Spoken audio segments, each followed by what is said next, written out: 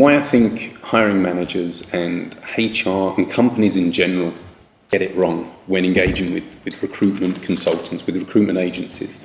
Too often, people think that by engaging with a lot of people, a lot of agencies, five, six different companies to find their talent, that they're actually going to spread the market wider, that they're going to have better candidates, they're going to have a better coverage because if you have five companies, mm-hmm. five um, consultants, then these five consultants, it's five times the work. But the reality is actually different. The reality is different. So if a company gives a consultant a contingency search, so they say, you can find somebody, and you're, if you're successful, we pay your fee. Mm-hmm. The problem is there, there's no commitment from the company, and there's also no commitment from the consultant. And what I mean by that is what the consultant will do, along with five, six, seven other positions they're trying to fill, is they're going to, as quickly as possible, try to find the easiest, uh, low hanging fruit, as we say, the easiest candidates to find, the two, three best ones that they can find as quickly as possible, and those are the ones that they're going to show to the client. The problem is, most recruiters, most consultants work in a very similar way. They've had similar trainings. So, what does it mean?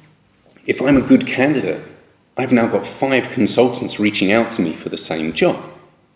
And what does that give me as an impression of the organization? Not really the, the, the best one. Mm. And that, that's one of the problems because everyone's searching in the same way.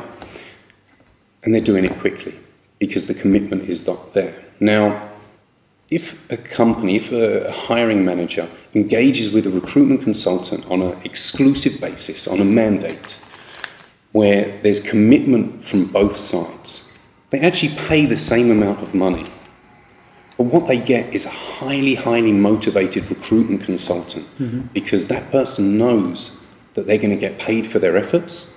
And they're not just going to find the, the two, three easiest candidates they're not just going to do a quick screening and, and, and do things as easy as possible. They really want to make sure that they fill that mandate because they want more mandates in the future as mm. well.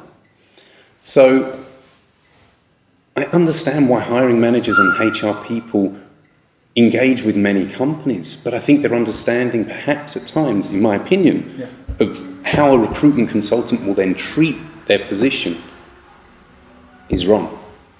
So my advice to, to you or to, to companies in general would be to engage with consultants on an exclusive basis, on a mandate basis.